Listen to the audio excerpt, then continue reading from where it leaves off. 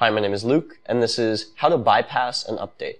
If you've recently installed an update from Microsoft, but you know it's going to take a long time to install, and you just want to shut down your computer quickly, what you're going to want to do is bypass it. You can do this by going to the desktop, clicking Alt, holding down the Alt key, and press F4. Here you'll see a Shutdown Windows dialog. From the drop-down, make sure it says Shutdown. Another option that'll appear if you've recently installed an update is Install Updates and Shutdown. Do not select this. Choose from the drop-down, Shut Down, and then click OK.